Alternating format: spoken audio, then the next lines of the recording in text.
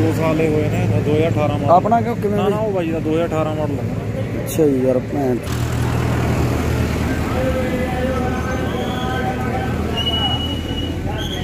ਫਤਿਹਗੜ੍ਹ ਸਾਹਿਬ ਤੋਂ ਆ ਰਿਹਾ ਸੀ ਬਈ ਟਰੈਕਟਰ। ਬਹੁਤ ਮਾੜਾ ਹਾਦਸਾ ਹੋ ਗਿਆ।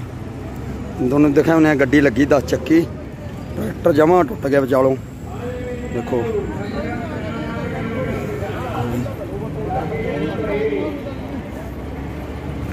ਟਰੈਕਟਰ ਦਾ ਜਿਹੜਾ ਗੇਅਰ ਆ ਪਾਟ ਗਿਆ ਉਹ।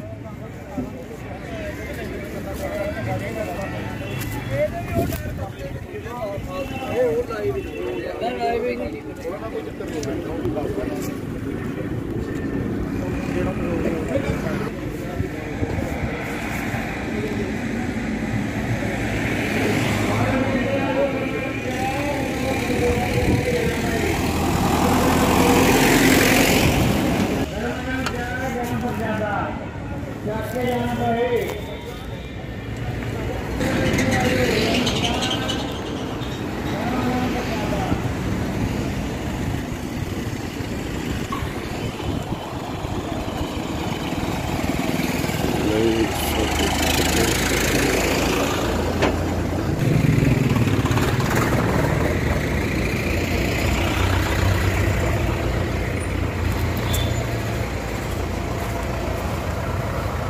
ਦੇਖੋ ਜੀ, ਟਰੈਕਟਰ ਵਾਲੇ ਦੀ ਕੋਈ ਗਲਤੀ ਨਹੀਂ ਹੈਗੀ, ਸਰਹੰਦ ਤੋਂ ਫਤਿਹਗੜ੍ਹ ਸਾਹਿਬ ਤੋਂ ਰਾਤੀ ਭੋਗ ਪਿਆ ਸੀ, ਰਾਤ ਨੂੰ ਵਾਪਸ ਆ ਰਿਹਾ ਸੀ ਟਰੈਕਟਰ।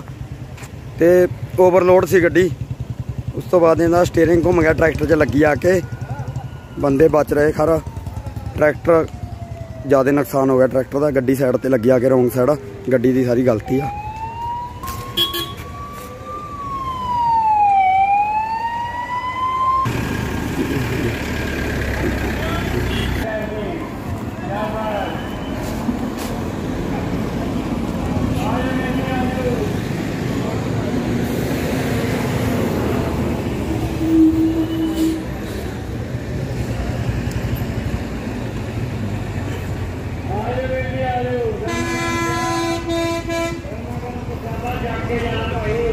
देखो जी ट्रैक्टर का काफ़ी नुकसान हो गया।